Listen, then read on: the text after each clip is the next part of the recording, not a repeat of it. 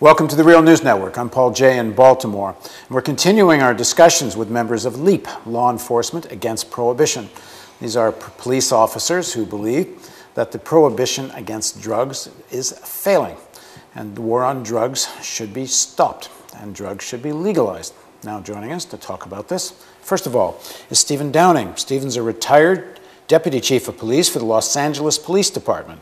Was commander of the Bureau of Special Investigations. One of, which, uh, one of those divisions was the Administrative Narcotics Division. And thanks for joining us. Also joining us is Terry Nelson. Terry's law enforcement career spanned three decades. It included service in the U.S. Border Patrol, U.S. Customs Service, and the Department of Homeland Security, taking him beyond the borders, U.S. borders into Mexico, Central America, and South America. In various capacities, he acquired a first-hand knowledge of the war on drugs through his direct involvement with counter-narcotics missions. Thanks very much for joining us. Thank you for having me. So, uh, start with your own story. Uh, you're a Texan. You told me off camera you're a Republican. You grew up with these values, I would have thought, that the war on drugs is a necessity, and you were involved in fighting it. Uh, what is your thinking in the beginning of your career, and how does that your experience change that thinking? Well, as a young officer, you think you can make a difference, of course, and you spend years trying, and then all of a sudden you realize that the futility of what you're doing because you're not making any progress. I never really turned against the war on drugs until I got in command structure and was working in Central and South America and saw the total futility of like Plan Colombia was $5.2 billion we spent trying to train the Colombian police and spraying herbicides on the coca crop. And at the end of five years of that program, uh, the coca production went up 25% in Colombia. So either we were spraying uh, fertilizer on there instead of herbicide, or the farmers became much better. And that's what happened. The more, the more successful we were in destroying the crops, the more successful the farmers were, and they tripled the yield of the coca plant in about three years. So they made up all the difference and actually produced 25% more cocaine than they had at the beginning of the drug war. You see this, and you know you're not going to arrest your way out of the drug war. Uh, arrest and incarceration will never work, but education, we believe, will work. Okay, so that coin dropped for you, but you're working with many other officers and in the command structure. Do you talk about these things, and what, what kind of pushback do you get? Well, you, you talk about it somewhat, but you have to be careful because you know, everyone wants to get promoted. That's the whole purpose of going in, to work your way up the chain where you can have a, a more influence on what's going on. I spoke out at an interdiction committee meeting one time with, uh, I call it a double, triple PhD from Washington, D.C. that came down to tell us how to do the, he was laying out economic models and said if we can just destroy this much property, this much coke, we can win this drug war. And I stood up and said, am I the only SOB in this room that thinks we're doing this wrong, that we should change our strategy? And everybody applauded until I was called up in front of the room and he stuck his finger in my chest and said, Agent Nelson, you don't make policy, you carry it out. So you salute smartly and go back and sit down and think, okay. So when I got out of the service, I decided I was going to help change that policy because I could do it then. So. Mm. Stephen, uh, how about you? You're, you're, in, you're in, in tough territory downtown LA. Uh, drugs must be one of the overwhelming things you have to deal with. You must have bought into this idea that it, that it was necessary. Well, as a um, young 22-year-old uh, coming from a rural community, going into the academy, uh, you listen to what they tell you and you believe it. And so you buy into, uh, at that time you were still buying into the residual of uh, Harry Anslinger, uh, who said that uh, blacks and browns use marijuana and it makes them rape white women. And so a lot of the myth making was still alive and uh, you believe it. You go out on the street, and in those days, just possession of a tiny amount of marijuana was uh, a felony. Well, a felony arrest was a big deal for a, a young police officer, and so uh, you did your job. And in those days, especially in those days, uh, quota systems were rampant. Uh, the measurement of good police work was not an absence of crime. It was what did your recap look at, look like at the end of the uh, at the end of the day. But as you uh, grow and you go through the ranks and you study um, and uh, you become a manager, you realize that there are more effective methods for supervising police operations.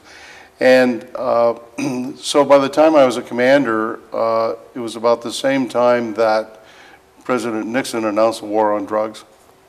And it was also at the same time that I had just uncovered at the divisional level the growth of two small gangs. Uh, they were called the Bloods and the Crips, and they had a membership of less than 100. So our charge, uh, when Nixon announced the war on drugs, I took over the narcotic effort, uh, narcotic enforcement effort. Uh, our strategy, which was the national strategy, cut the head off the snake, reduce the flow of drugs into the country, and reduce drug abuse and drug addiction. Well, as we started, a big deal when we'd call the press for our, our dog and pony shows, one or two kilos, few thousand dollars, a few handguns. Next month, it's a little more than that. A little more, a little more. So today you look at it, and there is really no metric, none, that measures success. All of the metrics say this is a failure. Those two small gangs in the 40 years of this drug war have grown to 33,000 gangs across the nation with a membership of 1,500,000. When we started, the cartels were barely heard of. They were somewhere in South America, Latin America. Two years ago, the DOJ said the cartels controlled drug trafficking with the help of the gangs in 250 American cities. This year, the DOJ said the drug cartels control drug trafficking in 1,000 American cities. So we haven't made a dent in these, these three strategy approaches. Addiction, drug abuse, it goes up and down. Uh, the um, flow of drugs is now warehouses full. The guns are tens of thousands of war level weapons, and the money even being laundered by domestic banks they get a slap on the hand is millions of dollars on pallets. And cutting the head off the snake, I came to discover as a police executive who likes to do a good job and likes to meet his goals and his and and and effectively execute the strategy. That was a big thing to me because I finally decided there's no snake. It's starfish. And when you cut a starfish in half, you get two starfish. When you cut it four ways, you get four. And the only way to kill a starfish is to remove its nutrient. And in the case of the cartels and the gangs, the nutrient is money. They can't function without money. They can't buy guns. Money can't be laundered. And they'll be out of business. And so prohibition creates their opportunity for money. And if we take that black market away, we're going to dry them up. And, and that's what I discovered as a police executive. Um, and that's why I believe that the only way to get out from under this, and, and since I've left the, the department, in the 80s, they just poured more money in, unprecedented money, they militarized our police. The federal government bought off our police, in effect, uh, by providing military equipment, by providing grants. This asset seizure uh, program, it's, uh, it's evil. It's, it's totally evil. Uh, they say they created it to uh, get the kingpins, but the average seizure is $15,000, and if a guy wants to get his $15,000 car back, he can't hire a lawyer for that kind of money. So all of these things that go into the harm of people, the discussions about prisons, California in 1980 had a total prison population of 23,000. Between 1980 and now, we've built 23 prisons. We've hired thousands of prison guards. We've fired thousands of teachers. Today, our prison population is 163,000. 25,000 of those are nonviolent drug offenders at $65,000 apiece a year to keep them in jail. That's $1.52 million. And this year, we told our 23 campus university system, no more new students. Our community college student, three weeks ago, demonstrations, 500,000 kids can't get classes. So we're trading the education of America for a drug war that's just stacking our prisons with cordwood, destroying families, destroying neighborhoods, unraveling our whole social structure. So, when, when, when colleagues of yours, people you know in law enforcement, hear arguments like this and arguments that you give, I don't understand how they cannot be persuaded. What, what is this sort of moral imperative that seems to be deep in, in the American political culture? That you got to fight this war on drugs because somehow it represents the struggle between good and evil or something. Well, our drug czar recently came out and said that uh, uh, drug abuse is not a moral failure. So he actually came out and said that, and he also said we're not going to arrest our way out of the drug war. The issue is Who said that? Uh, Kerlikowske, the drug czar. The issue is it's institutionalized. Uh, prison unions fight us all the time. Police unions fight us because they don't want it legalized because then they're going to lose membership. Uh, as he mentioned earlier, the police make tremendous amount of money from the federal government, not counting if, if the police arrest someone at nine o'clock at night, a couple of kids for a few joints, they take them in and arrest and put them in jail. They go back the next day for a hearing. They get three hours overtime apiece. It's a money-making machine for them. They don't want to quit it. The uh, military-industrial complex does not want it to end because if you sell a Sikorsky helicopter to Colombia for $16 million, that's nothing. It's going to cost 100 million a year to put the maintenance contract in place to keep them flying. So it's all about the money. It's, it's in, in law enforcement, it's all about the Benjamins. You follow the money trail, you find a problem. And everybody's making money off of the current drug war at the expense of our children's futures. Because when you get arrested for a drug offense, I don't care if they don't put you in jail. You've got an arrest record, and when you go to get a job, you check the box to see you've had arrest, or they look, you had a drug arrest, you're not going to get hired. You're going to be marginalized the rest of your life, and that's going to mean you're not going to pay your fair share of the taxes that you would have earned if you'd have been able to get a decent job. And instead of be, being contributing to our society, you actually are a drain on our society. And it, I don't blame the people, other than the fact that they broke the law. They're in a position they can't get out of. I mean, once you've got the arrest record, that monkey's on your back the rest of your life. Our saying in LEAP is you can get over an addiction, you will never get over a conviction because it follows you throughout your life. So it's not just a short-term thing. It ruins the people for next 30, 40 years. Breaks up families. 1.9 million kids go to bed every night with one of their parents in prison.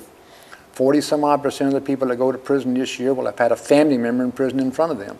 And 25% of the children, uh, or the kids that will go to prison this year come out of a foster home or institution. Well, that tells you right there, this is a hamster wheel. We're destroying the very people that drug policy claims to want to protect, which is our children. We're breaking up families, they're raised in foster home, they become, one parent goes to jail, the other parent has to get a second job, there's no one to monitor the kids, the evil wheel keeps turning, they're on the street, they're going to get in trouble, we all know that, kids are going to be kids. We've got to keep our kids safe until they reach adulthood.